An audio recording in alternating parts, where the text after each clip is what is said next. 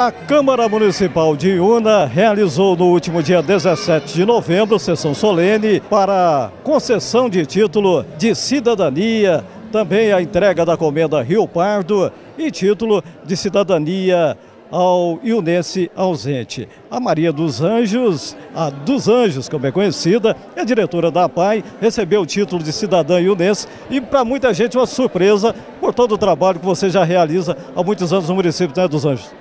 Sim, eu tenho 24 anos de Iuna e 23 de APAI. Então hoje eu realizei um sonho que é tornar cidadã iunense, que eu já sou de coração há muitos anos. Então, na minha realidade, realizei meus sonhos todos aqui. E sou muito feliz em Una. E quero ver a Iuna crescer.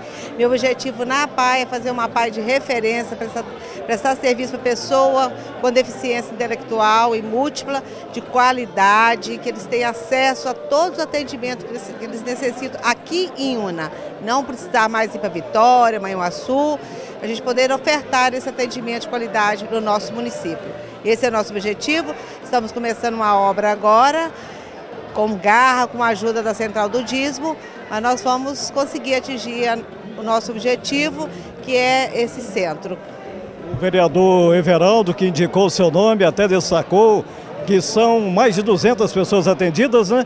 Em, só de UNA e também aí 41 funcionários, é isso, Suzane? Sim, sim, nós atendemos 225 pessoas com deficiência hoje, mas queremos ampliar para dar atendimento àqueles que estão em casa ainda, que não estão recebendo o atendimento que precisa. E a PAI, né, ela é uma entidade sem fins lucrativos, nós estamos começando a construção agora com doação da Central de Dízimo e quem quiser doar pode ir na PAI, pode depositar no banco, aceitar material de construção.